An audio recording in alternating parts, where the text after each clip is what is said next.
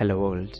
This day, that is on 28th February 1928, Sir C.V. Raman discovered Raman effect. He won the Nobel Prize in Physics for the discovery in 1930. Till date, Raman remains the only Indian to receive a Nobel Prize in Science and was the first non-white, Asian and Indian to receive the Nobel Prize. In memory of this occasion, our Indians celebrate this day as a National Science Day.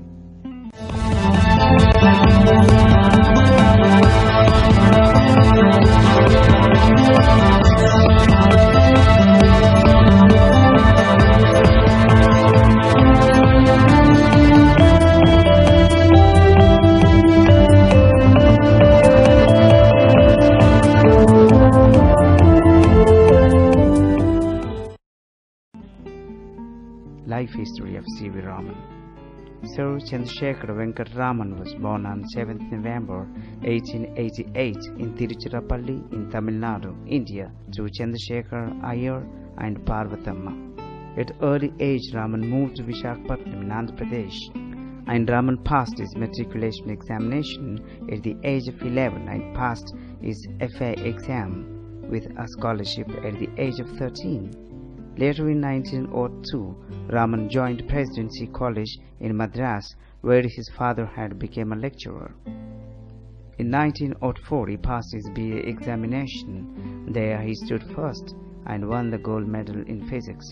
In 1907, he passed his MA with high distinction and became the youngest student at Presidency College.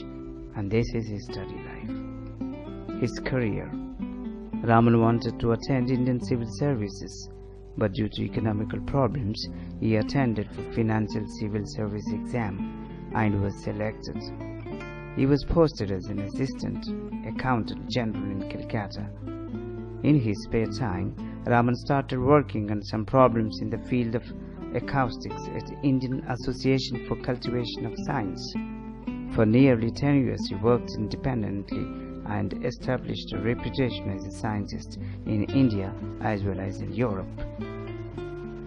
In 1917, he was appointed as professor at the University of Calcutta.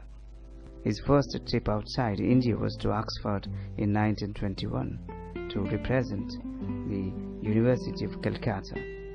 During his voyage, he was amazed by the rich blue color of the Mediterranean Sea and wrote a paper on the molecular scattering of light in water as the reason for the color of the sea. It was generally held belief that the blue color of the sea is due to reflected skylight as well as due to absorption of the light by the suspended matter in the water. Raman showed that the blue color of the sea is independent of the sky reflection as well as absorption, but rather it is due to the molecular diffraction. These initial experiments opened up a new field of research in Calcutta. Further work on the scattering of the light led to the discovery of Raman effect in 1928. What is the Raman effect and was the stuff in it made won the Nobel Prize? When a light beam travels through a substance, the light is deflected by the molecule of the substances. It means the particles of the substance absorb the photons, light energy, and subsequently emits light. In this process, the frequency of the observed and emitted light will be exactly same. It means the incident light will have the energy exactly as same as the emitted light and there will be no energy loss. This is called Rayleigh scattering of light. But Sir C.V. Raman observed very little 1 in 10 million parts of scattered light as a slight different wavelength compared to the incident light wavelength.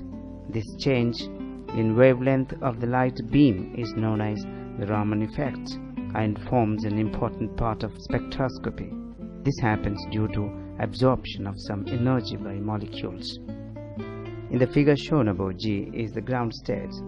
The above line is higher energy state. In Rayleigh scattering, when the electron absorbs photon, it reaches the higher energy state and subsequently it reaches ground state by emitting light ray. Here it is clear that the energy absorbed is equal to energy emitted in Stokes-Raman scattering and anti-Stokes-Raman scattering shown above. It can be observed that the energy absorbed differs from the energy emitted. Green line is absorbed and pink line is emitted energy here. It means the incident and scattered light beams don't have the same frequency. This is what we call Raman effect. Here, the importance of Raman effect lies in that the difference between the incident and scattered light beam frequencies depends on the nature and atomic structure of the medium or substance we used. Based on this, we can recognize molecule structure. The uses of Raman effect.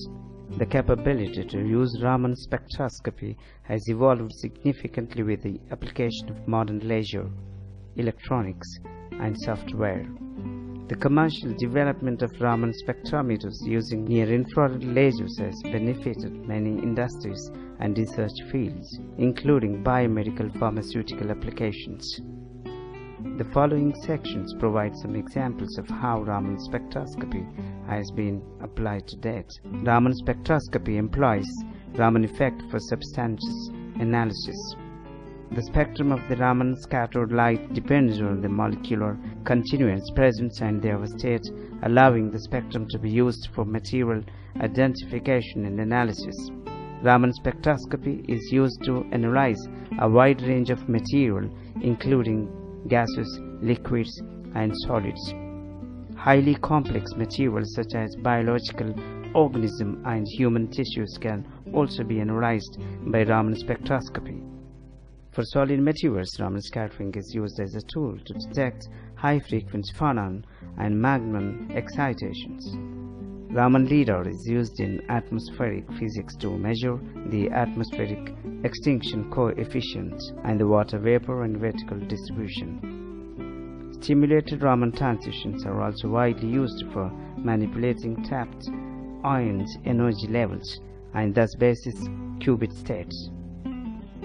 Raman spectroscopy can be used to determine the force constant and bond length for the molecule that do not have any infrared absorption spectrum.